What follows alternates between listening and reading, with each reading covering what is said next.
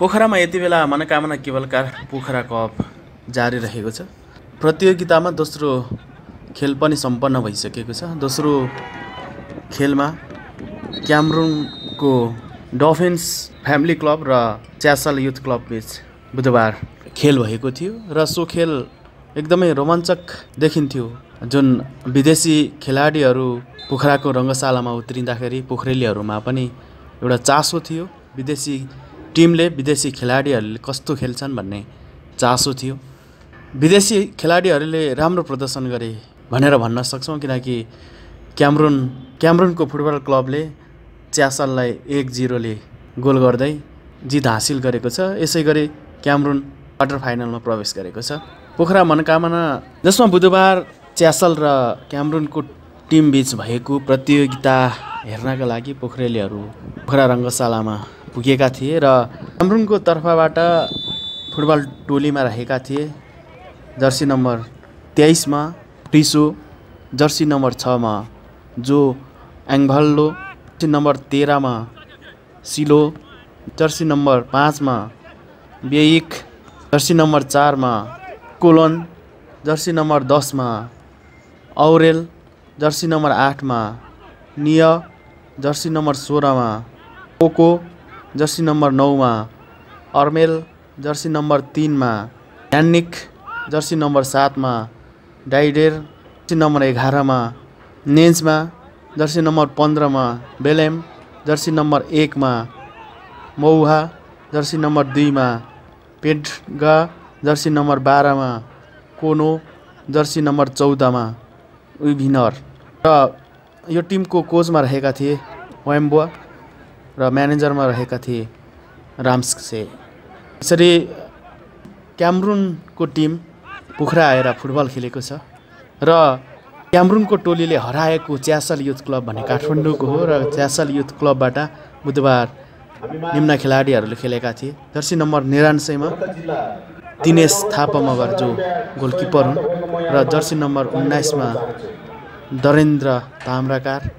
Jersey number उन्नाइसमा Darendra Tamang jersey number चारमा Narendra Chaudhary jersey number चौबिसमा छिरिङ गुरुङ जर्सी नम्बर सोह्रमा विक्रम लिम्बू जर्सी नम्बर आठमा हेमन्त थापा मगर जर्सी नम्बर पन्ध्रमा गौरव थापा मगर जर्सी नम्बर बिसमा योगेश गुरुङ जो क्याप्टेन हुन् जर्सी नम्बर सत्रमा सुनिल खड्का जर्सी नम्बर बाइसमा भिक्टोर अमोबी जुन विदेशी खेलाडी हुन् जर्सी नम्बर सतहत्तरमा एल्भिस जुन विदेशी खेलाडी हुन् जर्सी नम्बर एकमा जर्सी नम्बर एकमा दिपन्स राउत जर्सी नम्बर सत्ताइसमा निशान खड्का जर्सी नम्बर बाह्रमा विश्व अधिकारी जर्सी नम्बर नौमा शान्तबहादुर गुरुङ जर्सी नम्बर सातमा अमिर श्रेष्ठ जर्सी नम्बर चौधमा सजिन थापा मगर जर्सी नम्बर एघारमा सन्ज्याक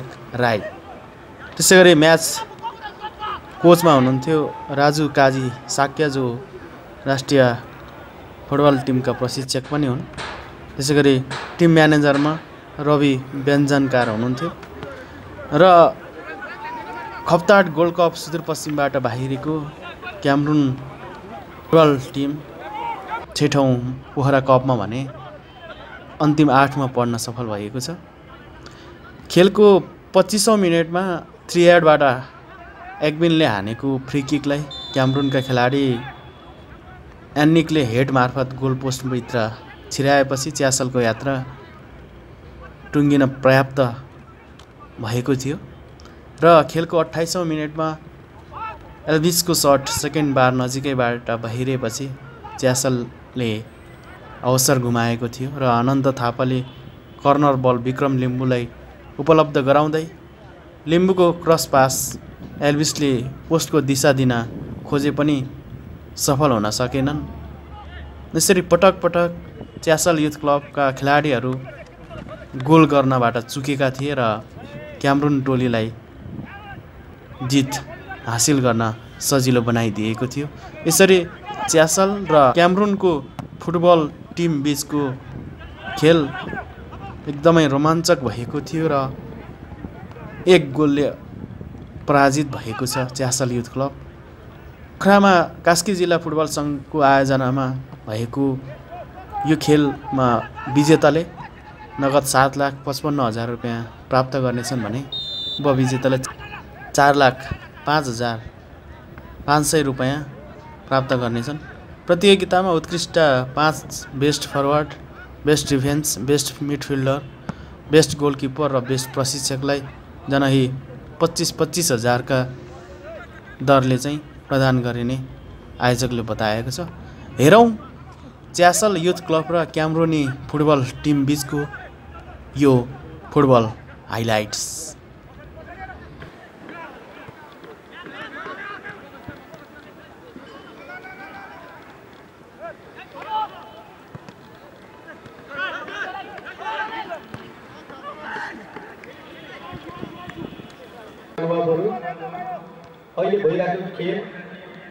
gold Nepal dot कमको साथसाथै यस कास्की जिल्ला फुटबल सङ्घको वेब पेजबाट तपाईँहरूले लाइभ टेलिकास्ट हेर्न सक्नुहुनेछ।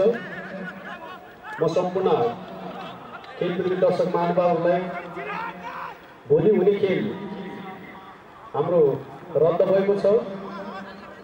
इटलीमा सञ्चालित मदन भण्डारी स्मृति गोल्ड कप हाल सञ्चालनमा रहिरहेको हुँदा हाम्रा घोषित ए डिभिजनका क्लबहरू उक्त गोल्ड कपमा खेल खेलिरहेको हुँदा हाम्रो हुने भोलि भनेको खेल अनुभव चाहन्छु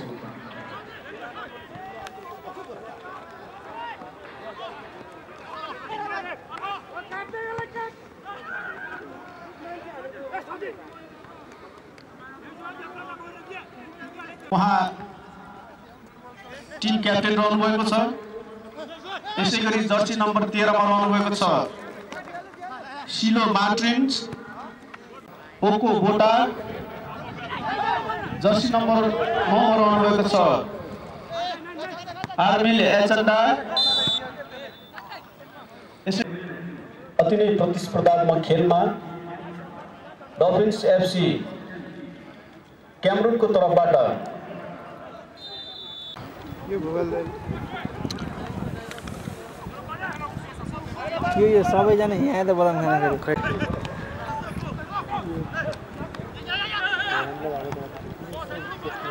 यही हो। एक जिरो नि हुन्छ अब थप्ला गोल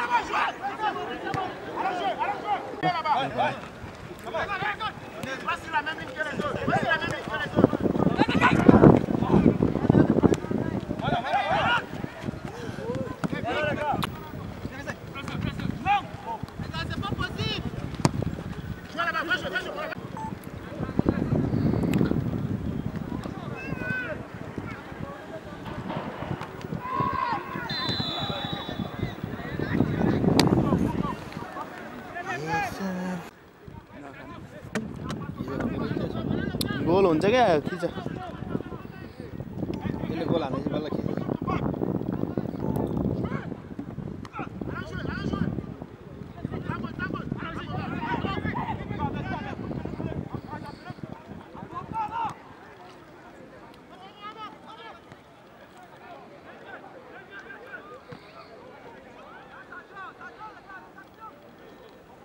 सब झेल्दी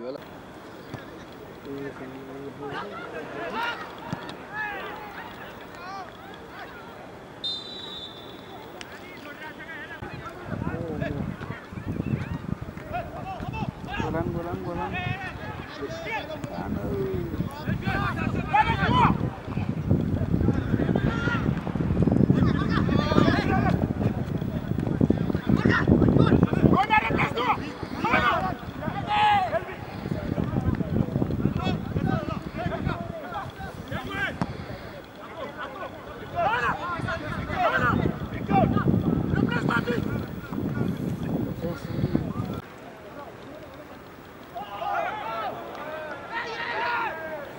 Ne destek olsunlar madende.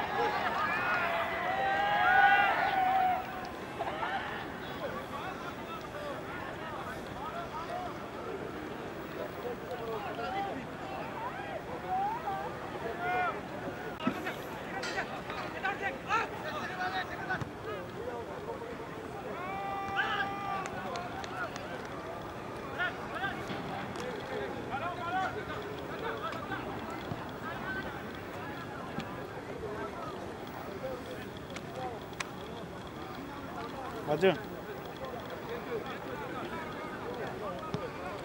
ए ल हजुर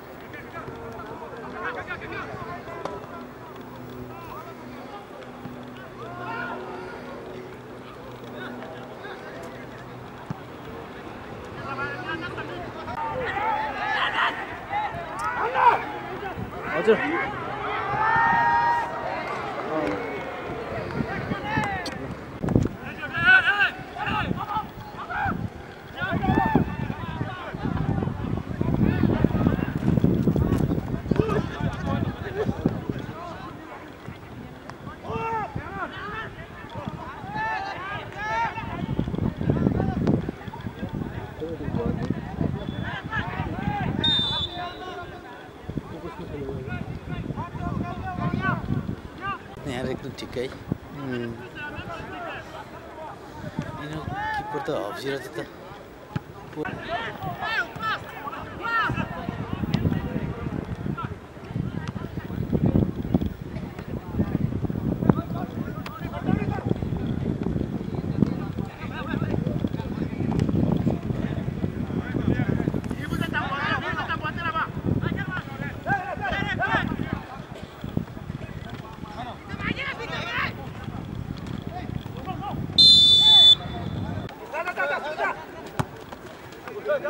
किपर त हप्सिएर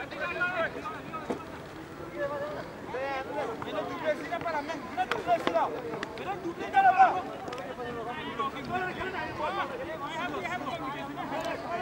हजुर अँ भोलि म यहाँ भर्खर फोन गरेको थिएँ ए राम्रो रहेछ हजुर ए ल हजुर हजुर ए ति- अँ, तिरुपेटको लागि हो ए ए लागि भने पठाइदिनु पऱ्यो नि होइन अबको केही समयमा मध्यान्तर हुँदैछ र अहिले अतिरिक्त समय दस दुई मिनट थप गरिएको म जानकारी गराउन चाहन्छु।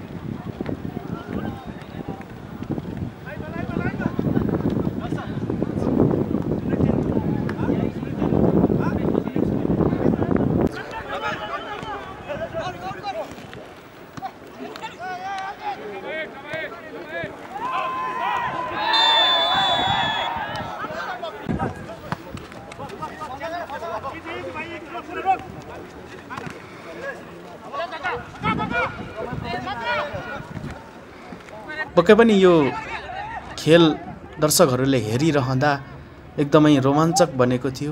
च्यासल युथ क्लब विदेशी टिमसँग भिडिरहेको हामी देख्न सक्छौँ र च्यासल युथ क्लब पनि गोल गर्न प्रयासरत थियो तर गोल गर्न सकेन। यसरी क्यामरुन टोलीले विजय हासिल गरेको छ र क्वार्टर फाइनलमा प्रवेश गरेको छ। यसरी क्यामरुनको फुटबल टोली पोखराको बसाइ लम्बिएको छ। यानि अझै पनि क्यामरुनी टोलीले अब क्वार्टर फाइनलको खेल खेल्नेछ। तपाईँलाई आजको भिडियो कस्तो लाग्यो? जस्ताको तस्तै यो भिडियोको तलपट्टि कमेन्ट गरिदिनु होला मन परेमा सेयर लाइक पनि गरिदिनु होला र तपाईँले यी र यस्तै भिडियोहरू हेर्नको लागि हाम्रो युट्युब च्यानललाई सब्सक्राइब पनि गरिदिनु होला